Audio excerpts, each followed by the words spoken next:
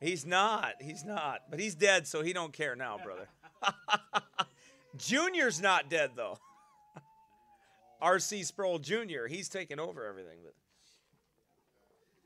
but yeah, yeah, yep.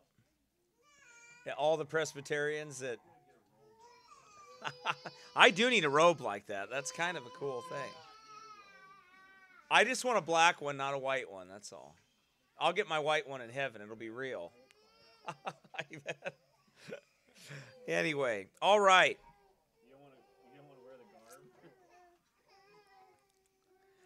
No, I like Spurgeon a lot, but I sure wouldn't have wore Calvin's uh, robe in Geneva.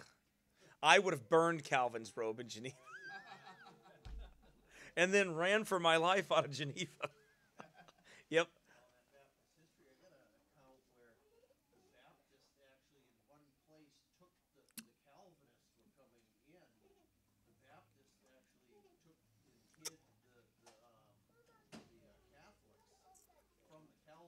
So they couldn't kill him. Some of them are the Reformed Calvin, the Reformed group of, because see, there's Calvinist Baptists that didn't hold to those, those, um, because they were more Baptist than Calvinist. That's why. It is very confusing. It is very confusing. It, it's a it's a sordid history that we'll go through and we'll, we'll we'll explain as best we can.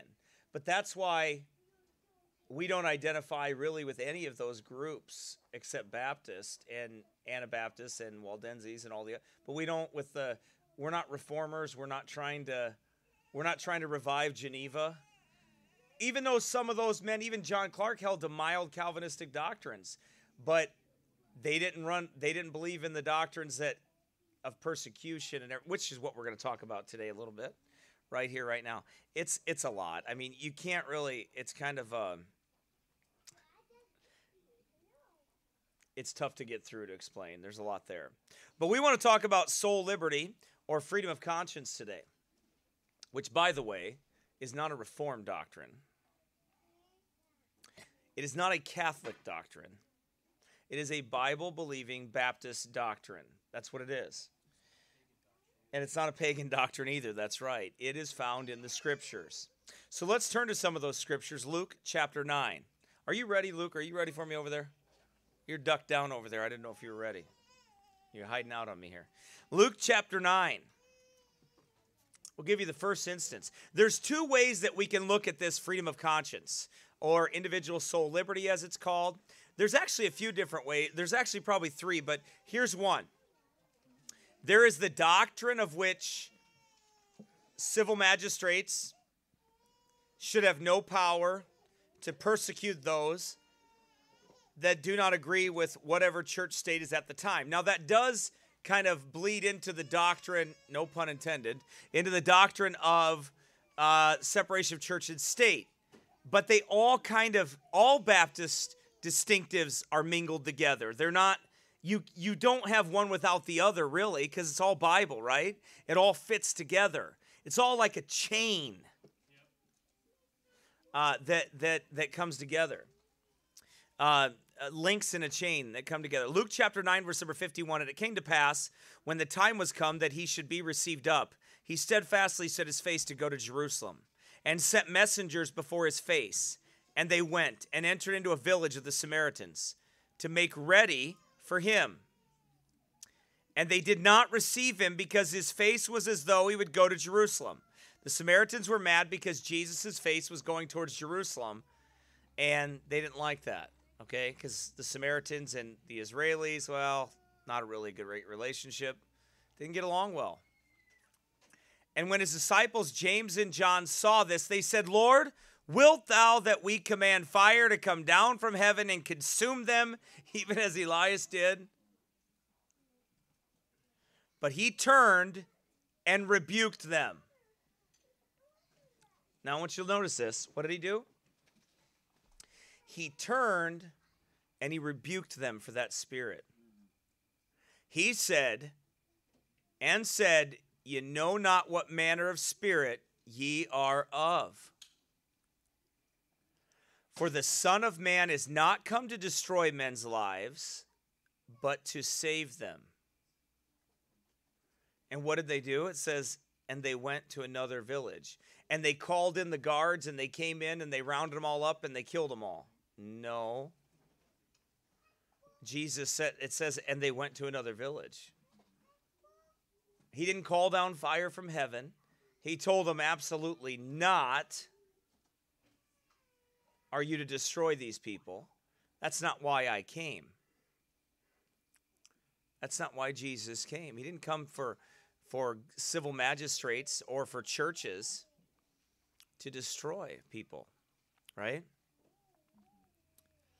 So, the first example of this, what we can say very easily, is the first example of this is a man, God made every man to have freedom of conscience, right? Every man was created with that freedom to worship God or not to worship God. God has no forced worship, it wouldn't be real. So, freedom of conscience deals with the fact that every man is born with the right to worship God or not to. He is also born with the same he is also born a sinner and he is born with the fact uh, and he must live with the fact that if he chooses not to worship God, he will die and go to hell. But God never told you to send him there early. I'm going to say that again to you. God never told you to send him there early right? Or gave any prince or governor the right to send them to hell early. We're not allowed to burn the heretics. We're not told to burn down the heretics. That's a different spirit.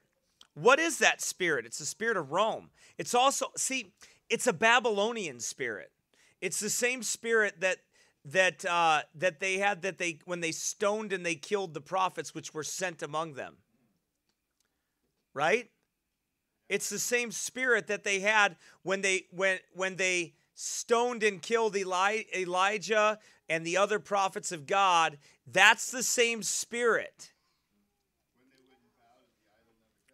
Right, it's the same spirit. And it's not the spirit of Christ. It is what? Antichrist. We must always be careful to identify a persecuting spirit like that as the spirit of Antichrist because it's never of God. It's not. No. So that's one aspect of individual soul liberty. Now, I'm going to show you. So, what does that mean? How does that relate? I'm going to read something to you that I find fascinating. I don't know how far we'll read. I mean, it's in Baptist history, and it's called Tracts on Liberty of Conscience and Persecution. And no, don't be afraid. I'm not going to read the whole book. All right? Not today, anyway. But you know what? I started reading it. I, I started reading a portion of this, and I was I couldn't put it down. This is a letter that was written to King James. Now, we love our King James Bible, the authorized Bible, right? We love it, right? But we also understand that King James wasn't a perfect man. He actually persecuted Baptists. He threw him in prison. Well, this man, and I'm telling you what, this guy that wrote this letter to the king, he had some spiritual fortitude. Because when I, huh? Yes. Because when I read this to you, the things that he said to the king, remember, this is not like we can write the president. We can say, I think you're the biggest devil in the world, and I think you're this and that, and nothing's going to happen to us. I mean, they can't do anything to us, really. I mean, they could if they wanted to, I suppose, but generally speaking, the president is going to throw the letter in the trash and not care. Right, because his secretary or somebody else is going to read it and be like, ah, whatever. But when you wrote a letter to King James, the king. That meant something. Especially when you signed your name and you didn't use some anonymous name. You just said, This is me. Yeah, it wasn't a Facebook post. a little different, right? Well, I want to read you a portion of this. And the man's name, his name here.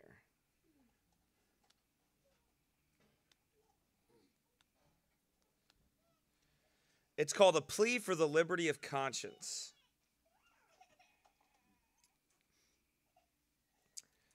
This useful treatise entitled Religion's Peace, long since presented by a citizen of London to King James and the High Court of Parliament then sitting, I allow to be printed.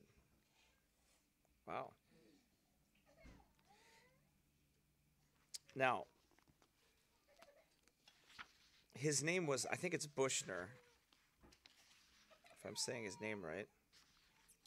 And this is how liberty of conscience works concerning governments. Now we'll get into separation of church and state because that's the an overall thing. We'll get over that late, get into that later, and maybe I think next week I'm gonna save the two offices for last, and I'm gonna kind of jump ahead a little bit, and I'm gonna finish what I'm starting today and deal with because we're dealing with liberty of conscience right now. So I'm gonna finish what what we deal with uh, with separation of church and state because they go together so closely that you really it doesn't do me a whole lot of good to split them up like that. So we'll continue on next week with that and then we'll get to the the, the two offices at the end. I know that's out of order a little bit but you'll be able to handle it unless you have you know what is that called? Ocd where you put stuff is that what that's called joshua when you put stuff out of order and drives people nuts is that what that's called that's you oh okay so i'm doing it on purpose so i just want to warn you it's order, but I'm yeah.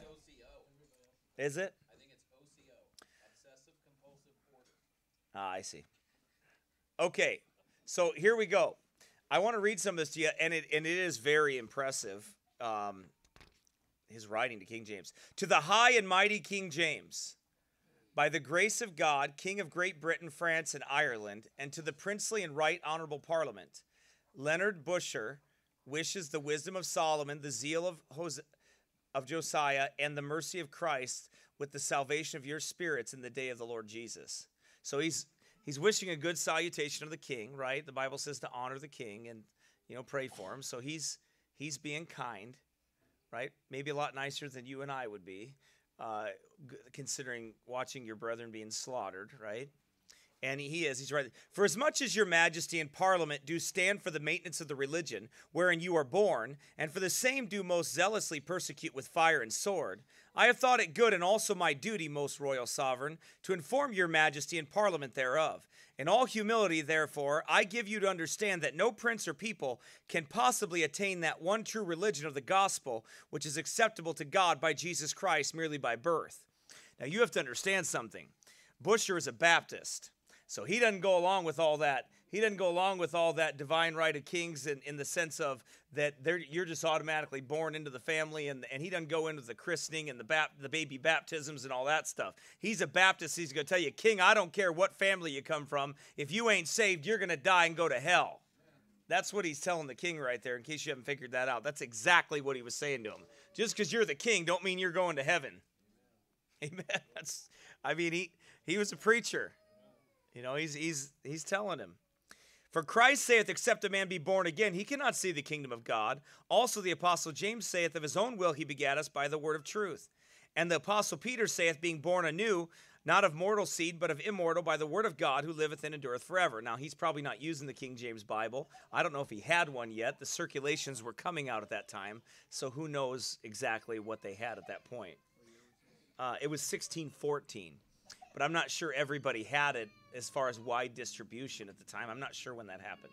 Therefore, Christ commandeth this word to be preached to all nations, that thereby they may t- maintain the new birth by which your majesty and parliament may perceive that the one true religion of the gospel is not attained by natural birth. For then all princes and peoples and all nations should have that one true religion of the gospel. That which you see and grant they all have not. Yet many of them also will defend their religion wherein they are born by fire and sword as if it were their natural and earthly inheritances, or had with fire and sword been, been gotten, and therefore will with fire and sword maintain and defend it. So he's saying you're maintaining your faith by a fire and a sword. See, this is this this is what the reformers did. This is how they treated people, Baptists, especially people. This is what they did. You have to understand, this is what, and King James was of those people. You know, we don't follow the King James because of King James, King James himself. We do it because it's the inspired word of God. That's why. And it was conditioned by, or it was commissioned by the king. Where the word of the king is, there is power. We know that God ordained that. We we know and we believe it. Right? Has nothing by the way, God uses imperfect vessels. Right. You and I are good examples of that. Amen. So understand that. The testimony of the crown is that the man who published the King James Bible died in prison as a debtor to the crown. Wow. Isn't that something? Yep. So that that's how you know that these people they weren't they weren't Baptists, but you're reading about Baptists, right? This I'm reading you, they're Baptists. and they're telling you the differences in what they held to compared to the differences of the crown, right? Big difference. Okay, so we'll skip ahead some of this. Uh, it's all good, but we can't read it all. Therefore, may it please your majesty in parliament to understand that by fire and sword to constrain princes and peoples to receive that one true religion of the gospel is wholly against the mind and merciful law of Christ, dangerous both to king and state, a means to decrease the kingdom of Christ and a means to increase the kingdom of Antichrist. I mean, do you realize how bold that is? What he is writing to that. That is how you know he's a Baptist. The way he is writing that right? He just he just is. And these reasons following do manifest, the which I humbly beseech your majesty and parliament carefully to consider, and that according to the word of God, which shall judge every man according to his deeds, and persecution is a work well pleasing to all false prophets and bishops, but it is contrary to the mind of Christ, who came not to judge and destroy men's lives, but to save them. And though some men and women believe not at the first hour, yet may they at the eleventh hour, if they be not persecuted to death before. So, what was he saying? He said, King, you're killing these people. They might get saved, but you're killing them. Before they might get saved at the 11th hour, but you're taking their life because they don't believe like you do. You got to stop doing that. And no king nor bishop can or is able to command faith that is the gift of God who worketh in us both to will and to do, to do of his good pleasure. Set him not set him not a day, therefore, in which of his creatures hear not and believe not. You will imprison and burn him. Paul was a blasphemer and also persecutor, and could not be converted by the apostles and ministers of Christ. Yet at last was received to mercy and converted in extraordinary by Christ himself, who is very pitiful and merciful, and would have no man to perish, but would that all men come to repentance but not by persecution, but by the word of reconciliation which he hath committed to his ministers. And as kings and bishops cannot command the wind, so they cannot command faith. I'm telling you, man, that this is golden. this stuff is good, man. It is just a blessing. And as kings and bishops cannot command the wind, and as the wind bloweth where it listeth, so is every man that is born of the Spirit. You may force men to church against their consciences, but they will believe as they did before. When they when they come there, for God God giveth a blessing only to his own ordinance and abhorreth antichrist.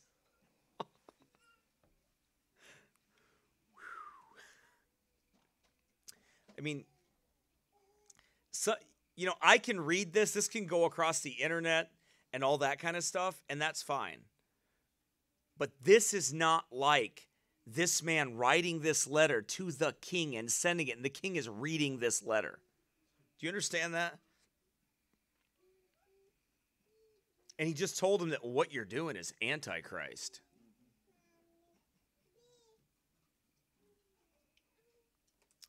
You may force okay, and kings are to think that they and kings are to think that they are men as well as kings. Nobody talks like that to kings. Baptist preachers did. They did. 1614. Yep. Edward Wightman. Yeah. Yeah, and he was a Baptist. and a godly man. And his grandson came to America. Yep. So you know the story, right? Yep. Amen. Yeah, they burned him at Smithfield, right? Right. This is in the time that, heretics are being burned. Yeah. And kings are to think that they are men as well as kings, and that Christ hath ordained the same means of faith for kings with, with which he hath for subjects, and that subjects are Christ's freemen, as well as kings' subjects, and kings that believe are Christ's servants, even as subjects are king's servants, and both are bought with a price. Therefore, both ought not to be the servants of men in matters of faith and religion, but the king shall give a greater account at the day of judgment than their subjects. And to judge men now for religion is to judge afore the time, and also to sit in the judgment seat of Christ, to whom only it belongeth, yet not before the day appointed. How much less to kings and bishops?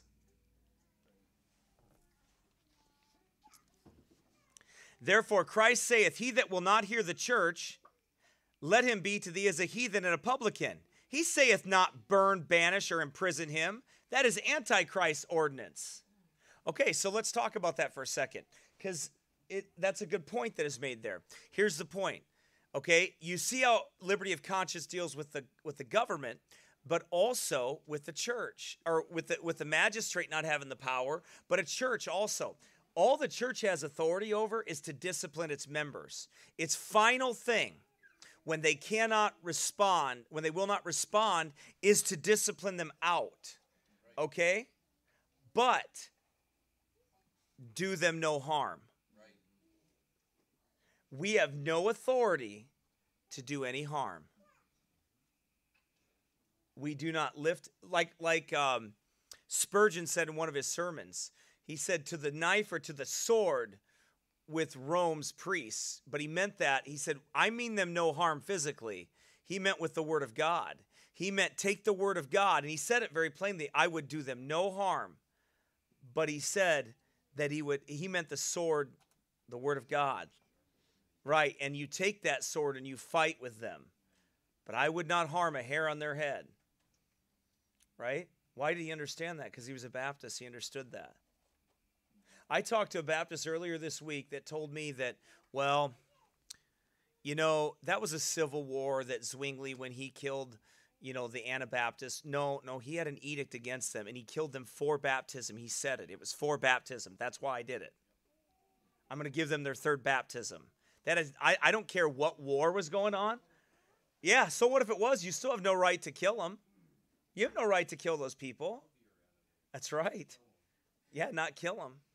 He's going to talk about that here too, which is interesting. Not that particular, but another one. So he says, And though a man be a heretic, yet ought not, yet ought he not to be burnt, but to be rejected after once or twice admonition, that is to cast out of the church. But as in the church of Rome, people of all sorts are by persecution forced thereunto by the bishops and ministers thereof. So it is in the church of England also. Uh oh which showeth that the bishops and ministers of Rome and England are of one spirit in gathering people to their faith and church. Listen, which is the spirit of Satan, who knoweth well that his kingdom, the false church, would greatly decay if persecution were laid down.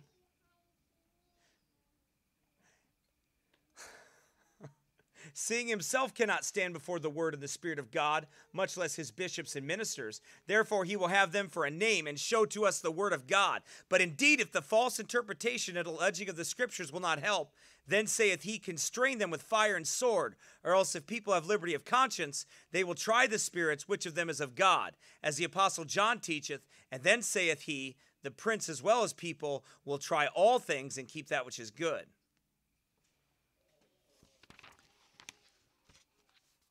And as the church of Rome provoketh the magistrates to persecute to death such as are excommunicated out of her, so doth the church of England provoke the magistrates to persecute to death such as she excommunicates. And as the bishops and ministers of Rome will persuade the prince and people to hear and read none but themselves, so do the bishops and ministers of England also. But the bishops and ministers of the apostolic church do persuade all men to prove and try the spirits whether they are of God, which they cannot do except they hear and read other men's doctrines, as well as the bishops and their ministers. Neither can they if they would, so long as the bishops have power from the king and state to silence and imprison all preachers, and to burn all books which teach not their doctrines. Right? Your majesty and parliament shall understand that all those that confess freely, without compulsion, that Jesus is the Messiah, the Lord, and that he came in the flesh, are to be esteemed the children of God and true Christians, seeing such as are born of God. And no man can say that Jesus is Lord but by the Holy Ghost, therefore not to be persecuted. And as Abel killed not Cain, but was killed himself, and as Isaac and Jacob did not persecute Ishmael and Esau, but were persecuted of Ishmael and Esau, who and Cain were figures of all persecutors. So the believing do not persecute the unbelieving, nor the true church the false, but the believing in the true church are as they have been most often persecuted themselves.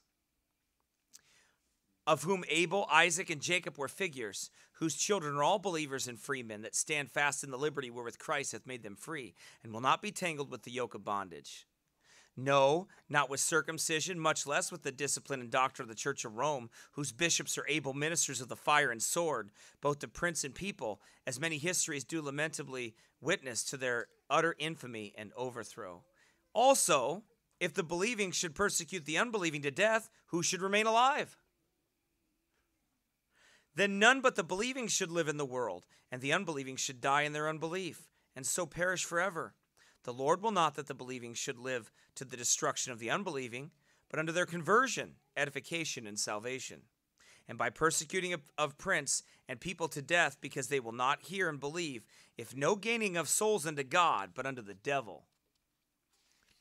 And whereas ignorant and wicked bishops may think to win souls by killing prince and people for religion, they are deceived greatly, for thereby they lose many souls, and their own, and the unbelieving. Their own they lose because they willfully break the Lord's command that saith, Thou shalt not kill, meaning such as are not corporal malefactors. So you ask me the question Do I believe these men that killed Baptists like that and drowned them for their faith in Jesus Christ and believers' baptism? Do I believe those people were Christians? I answer no.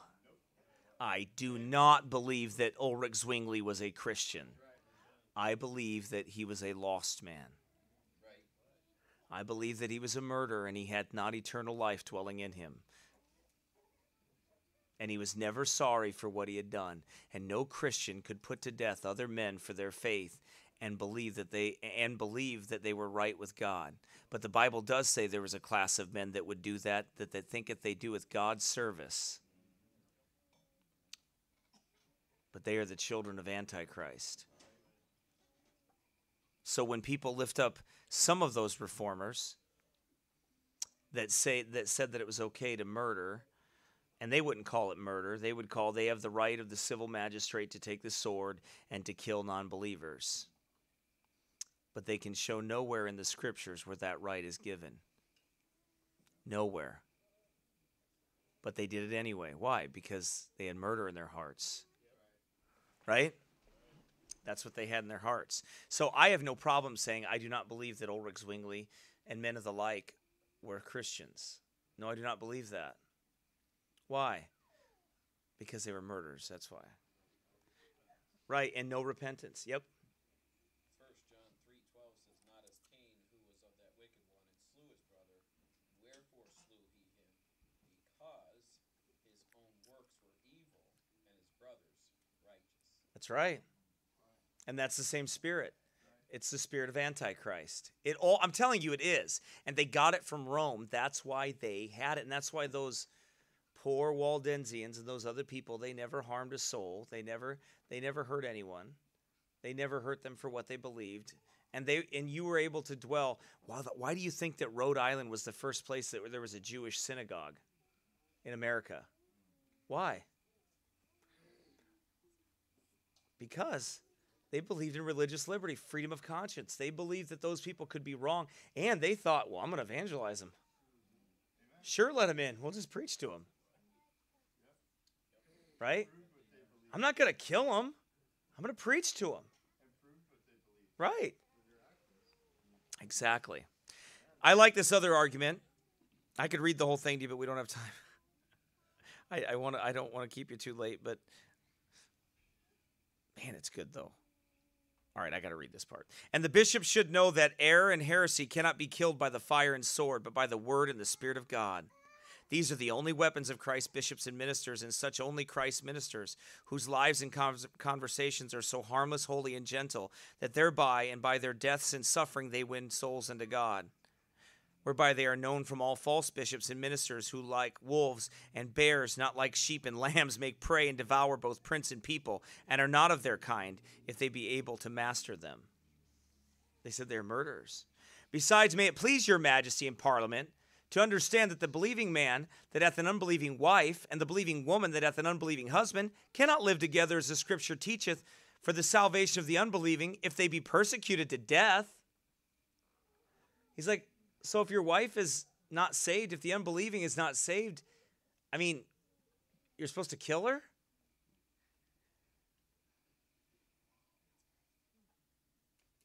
Well, that's what they were doing.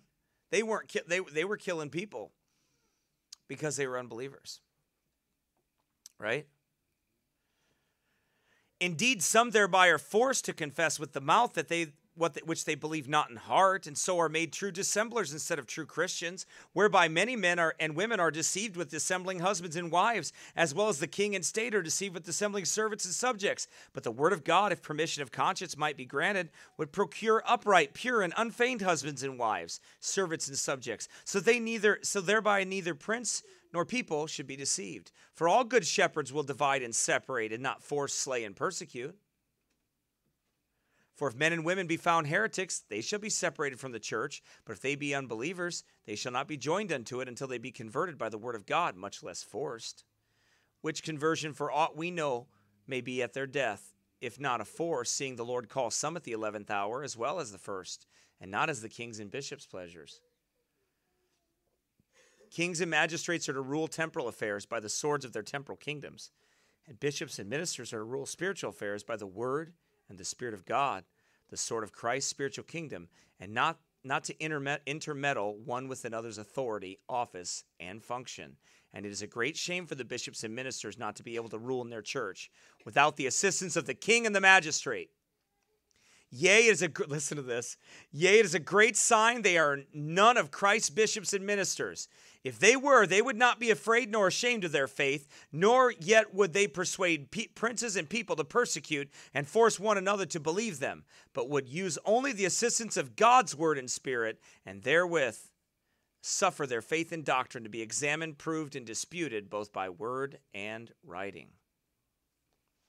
So he lays it out very plainly. I, I want you to listen to this part about Muhammad's law. He says, I read that the Bishop of Rome would have constrained a Turkish emperor to the Christian faith, unto whom the emperor answered, I believe that Christ was an excellent prophet, but he did never, as so far as I understand, command that men should, with the power of weapons, be constrained to believe his law. And verily, I also do force no man to believe Muhammad's law. Ouch. Did you hear that? He is a Turkish emperor. So that means he's a Muslim. And he said, and the Bishop of Rome tried to constrain him to be a Christian. He said, Well, I don't remember Christ ever doing that. I believe Christ was a great prophet. He didn't believe Christ was God. And that man died and went to hell if he didn't if he didn't get saved. But what he's saying is that I don't remember Christ ever forcing anyone to believe that upon death. And he said, I don't force anybody to believe Muhammad's law upon death. I said that this week, and somebody told me, Oh, I didn't know you were pro Muslim. No, I said I'm pro life. I don't want anybody to die. I don't want to kill somebody for what they believe. Right? I don't want to kill them for what they believe. No, he can't. He said, Also, I read that Jews, Christians, and Turks are tolerated in Constantinople and yet are peaceable, though so contrary the one to the other. There were places before Rome got in there, there were places that all three could dwell together. And no, they didn't all believe and they didn't all agree and they had their separate churches, but they didn't kill each other. They were safe in those territories and they didn't murder each other. And they gave them what? They gave them liberty of conscience. They said, "You know what? Okay, fine. You're going to believe that, but we're going to we're going to believe the Bible, and we're not going to persecute you for what you believe." Think about that. If this be so, how much more ought Christians not to force one another to religion? And how and he put this in bold by the way. He said, "And how much more ought Christians to tolerate Christians when as the Turks do tolerate them? Shall we be less merciful than the Turks, or shall we learn the Turks to persecute Christians?" It is not only unmerciful, but unnatural and abominable, yea, monstrous for one Christian to vex and destroy another for difference in questions of religion. And though tares have overgrown the wheat, yet Christ will have them let alone till harvest. Lest while you go about to pluck up the tares, you pluck up also the wheat, as your predecessors have done. See, I'm going to stop because we can keep reading this. I'm going to get to some scripture here and then we'll be done for the day.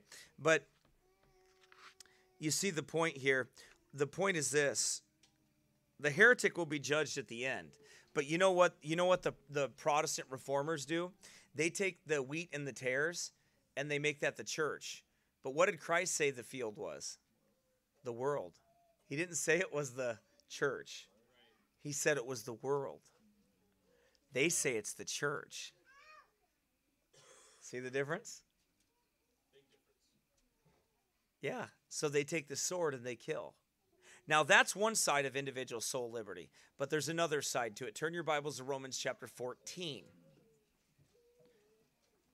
So, Baptists have historically, as you see there, always been against persecuting people for what they believe.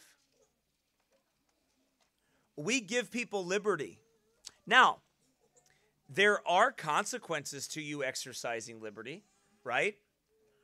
if someone was believing something heretical in the church and they would not repent of it, then what would have to happen if they wouldn't, if it was a damnable heresy? They would be disciplined after admonition and they would be disciplined out. They still we still can't do anything to them and we don't want to hurt them.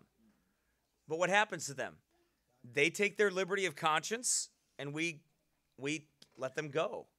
And God deals with them. Okay? but we don't put them to death. We don't harm them. Do you realize that's only a Baptist distinctive? Do you understand that you're sitting, listen to me, I don't know if I can get you to grasp the understanding of this because you live in a 250 year bubble. Do you understand what I'm saying? Do you know what I mean when I say that? You live in a bubble of 250 years where, because of Baptist people that God used, you don't have to worry about that.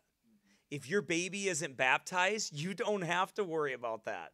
Do you realize this is the only place in the world where that was the truth? And because of the United, because of the Declaration of Independence, because of the, the, the Bill of Rights that God that recognized our God-given rights from God, the freedom of conscience, not from government. The Constitution and the Bill of Rights, the Bill of Rights especially, is a noose around the neck of government.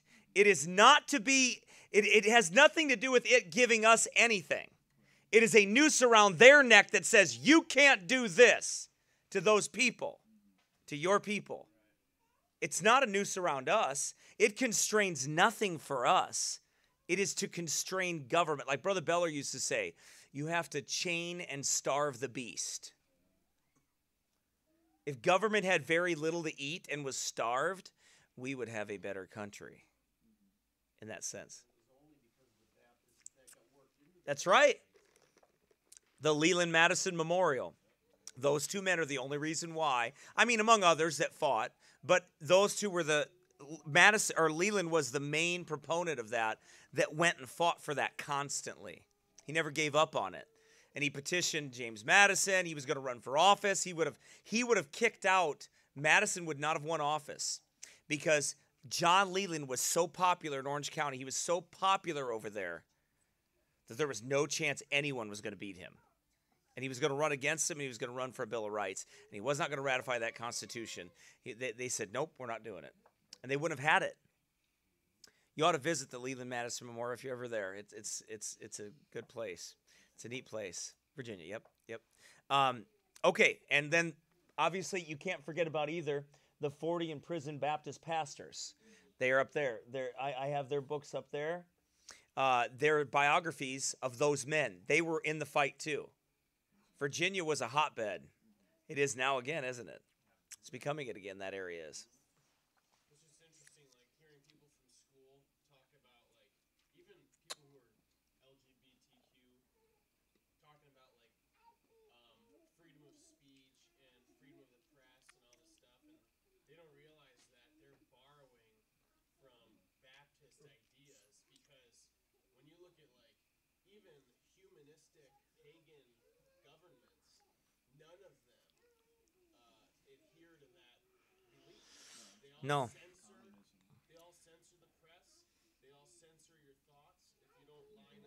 Well, right. Most of it goes back to uh, England. It goes back to the anonymous prisoner of Newgate. It goes back to um, the Magna Carta. A, a lot of those things that were going on around that time that were, that was happening. The people pushing for liberty. Right, they were pushing for liberty. But it's the Baptists that championed it because they were the ones that were burned. Valentine Wightman. Paul, that was his grandson, I believe, wasn't it? Valentine was the one, that was his grandson, I believe, uh, that came to America. Anyway, so those men fought. And the, you wouldn't have what you do today if it wasn't like you wouldn't have that bill of rights like that, that, that it wouldn't be there and it influenced the entire world right and they don't realize that this is a 250 year bubble. No other time in history was it like that. It wasn't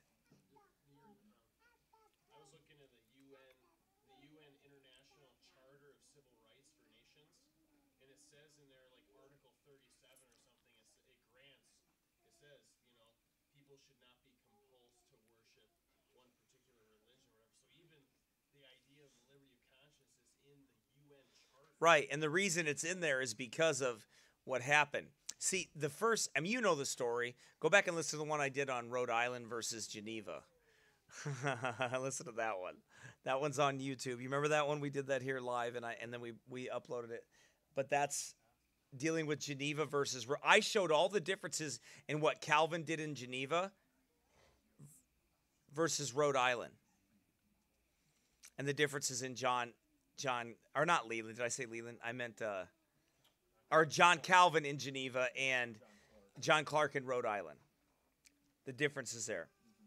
That was the first government that allowed freedom of conscience, Rhode Island. In fact, the Rhode Island Charter stayed in effect a hundred years or so after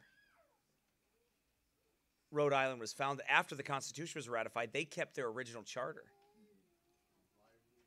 The lively experiment, that's right. They kept it. So this all goes back to that.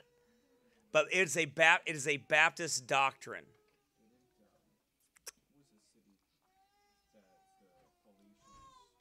What's that? There was a city that the Paulicians lived in, and they had a temporary stay of toleration there for a while. Yeah, I've got it in my study. Yeah, to priests. That's I think you're right. And that, but it wasn't. It wasn't like Rhode Island. Yeah, it wasn't like Rhode Island. Rhode Island's charter was unheard of at the time. It was just absolutely amazing, and it was done because of Obadiah Holmes being beaten. But anyway, you know that story. Uh, let's go to uh, Romans chapter 14. And I want to show you in the church how that kind of plays out uh, freedom of conscience. And we'll, we'll finish it up kind of next week. We'll look into this a little bit here.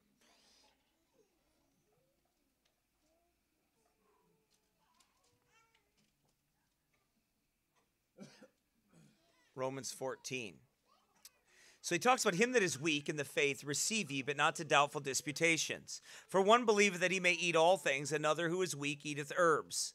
Let not him that eateth despiseth him that eateth not, and let not him which eateth not judge him that eateth, for God hath received him.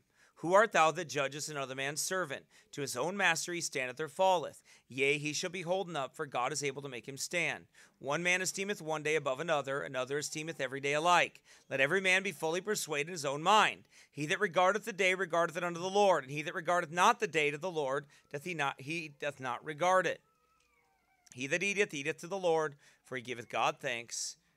And he that eateth not to the Lord, he eateth not and giveth God thanks. For none of us liveth to himself, and no man dieth to himself. So this context is in the local church. There's going to be things that, you know what? You may have people here in this church that they may have some slight differences in a few things. You know what I mean? We're going to have some differences. You have the liberty to have those differences. But we shouldn't use those differences as battle axes against each other and turn them into fights.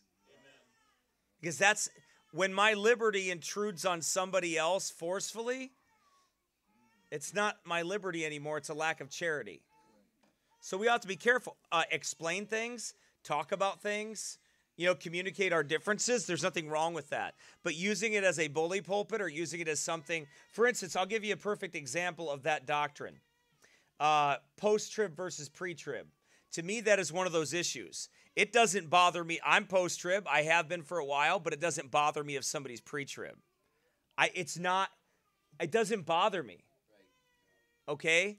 I don't think it's I've never called people to believe in pre-trib heresy. I hate when people treat people like that. I hate it when they get into that argument and they, they have this either side. I hate to do that.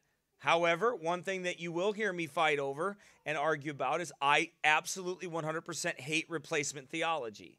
I hate I, I hate the fact of replacing Israel with with some spiritual Israel and saying that that's the that I don't believe in replacement theology. I believe there's a little return to the Israel of a people. I believe there's a literal Israel. I believe that God's going to redeem those folks by the same gospel I got saved by. One day God's going to have a remnant after the other ones are are dead. The remaining one, God's going to have a remnant. He does have a remnant now. And I believe those and when the Bible says all and so shall all Israel be saved, I believe that. Right. And I don't like the doctrine that teaches any differently because I don't see that in the scriptures. Absolutely, I do. No, I absolutely disagree with the theocracy. It's wrong. It's not Baptist. So that's why I don't believe in putting homosexuals to death. I don't believe in putting people to death that are wrong. I believe if you harm another person, I believe you're put to death. You know, like that. I mean, if it's a murder, I believe the state has the authority. I didn't say you and I have the authority. The state has the authority. God gave it to the governments of the world in Genesis chapter 9, I believe it is. Um, in Noah. What's that? Sheddeth a man's blood, so shall his blood be said. Uh, so shall his blood be said, shed, for in the image of God made he man. Right, so there is a judgment upon that uh, for shedding blood. Government has a moral responsibility to put to death murderers. They don't hold up to their end of the bargain because they let women stand in line and murder their babies. Is that too real? Or is that just true? It's just true. You know, we really ought to be careful about about talking about Syria and other countries uh, about how they well they're they're gassing their own people and they're doing all this. Well, well we're we're murdering our own babies here, and we legalized it. And then, and we not only legalized it, we put it in a pretty package and made it sound nice, and finance it, and pay people or pay for it to be done, don't we? And then our then our Republican government. Okay, all right, I know, I know, I know, I know. But but I gotta say it. I have to say it because it's election year, and I have to do my election year coverage. So. So here's my election year coverage for you. Are you ready? Here it is. Here's election year coverage. Okay, now they're all going to start banging the drum about abortion because it's election year and they're going to act like they really care and both sides are going meanwhile they've been funding planned parenthood the whole time since Donald Trump's been president. They're still funded, and and and meanwhile, the the other thing that they're all still doing that they haven't changed at all is fully funding uh, th- that the Republicans never put up a bill against Planned Parenthood with their bills. They did it. They do it all the time while they're in the minority because they know it's never going to pass. But when they get the majority, they never do it. They have the Supreme Court. They have the. They can have the Senate. They can have the presidency. They can have the House, and they don't do one thing. They only know that if you're a Republican and you're a Christian and somebody goes abortion, you're going to like go, well, okay, I'll vote for you because you're against abortion. But really? How pro life are they? No, it's made to fund and make money. The pro life movement is all about money. That's all it is. That's just the truth. It's a platform to get elected, and they only talk. And then they put up this bill the other day for late term abortion. Well, wait, you guys just had the House. You had the House last session, and you had the presidency. Why didn't you pass it then? And you had the Senate. But they didn't put it up then, did they? It's just like the whole thing of Obamacare. When they when when the when the when the House when the House was in the minority, right? When they did when they were in the minority, they put up literally put up like a hundred times a vote uh, to put down Obamacare, a vote against Obamacare. When they became the majority, never put it up once. Th- Trump said, "Give me a bill, I'll sign it. Give it to me, I'll sign it." They didn't do it once. How come they didn't put the same bill up they put in Obama's face 80 times? Why didn't they do that? Because it's all a charade. That's why. Okay. There. All right, I'm done. I'm done. That was your that was your election year coverage. Yeah. Yeah. If you use conservative estimates, uh, we've really lost between like 300 to 500 million citizens from And their progeny right after them, right. Absolutely. I mean, it's it's not the 40, it's not only the 50 million that we put to death. It's the numbers from those 50 million after that, right? Yeah. So now we need immigrants who hate us to come in and fulfill jobs because we don't have anybody. Right. Pay taxes. Right. Where did Hitler, eh, where did Adolf Hitler get all his eugenicist ideas? Yep. From the American, from here, from Margaret Sanger and all the other ones. They all work together. They all have the same spirit. Helena Blavatsky, all of them hated children, all the way down. And then what we do? We hired all the all the doctors and brought them over here, all the scientists, and we just put it in our own culture. They were preaching eugenics here in America with evolution. That's what they were preaching. They were already teaching it here. It was, uh, there was actually courses before the Yeah. And evolution never really got a foothold unless they abandoned it on geocentricity. Doctrine matters all the way back. Science matters, right? The truth of it, it matters. It's a pattern. And you know what? We know that it's not. We know that what they're doing is not real.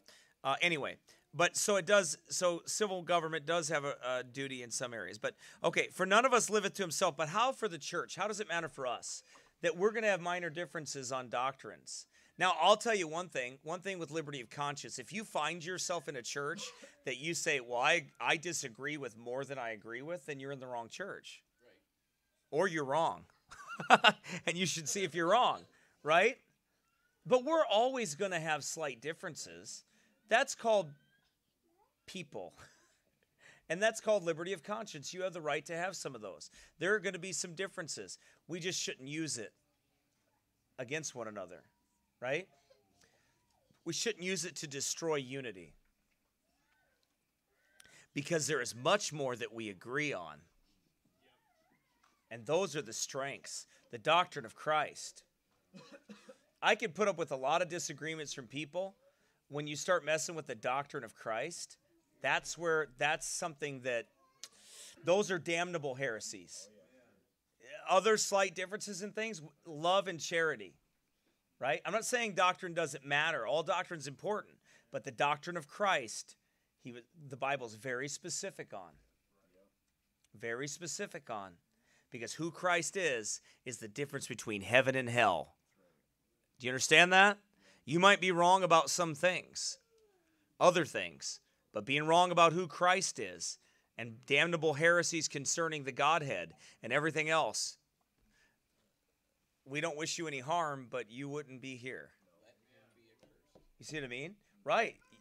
But we wouldn't harm you, and we'd pray for you to be be restored. But but we have to we have to hold the truth. Amen. Because uh, in the church it works this way: for none of us liveth to himself, and no man dieth to himself. For whether we live, we live unto the Lord, and whether we die, we die unto the Lord. Whether we live therefore or die, we are the Lord's. For to this end Christ both died and rose and revived, that he might be Lord both of the dead and the living. But why dost thou judge thy brother? Why dost thou set it not thy brother? For we shall all stand before the judgment seat of Christ. For it is written, As I live, saith the Lord, every knee shall bow to me, and every tongue shall confess to God. So every then every one of us shall give account of himself to God.